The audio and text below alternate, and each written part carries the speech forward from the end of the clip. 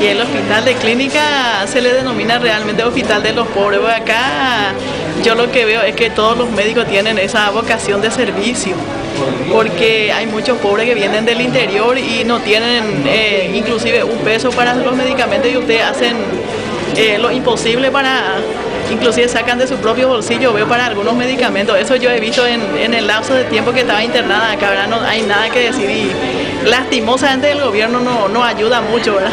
Y tendríamos que ayudar más, o sea, tendrían que ayudar más al hospital de clínica, porque es realmente el hospital de los pobres y ustedes hacen eh, lo imposible para salvar vidas realmente también. Yo soy una de ellas, ¿verdad?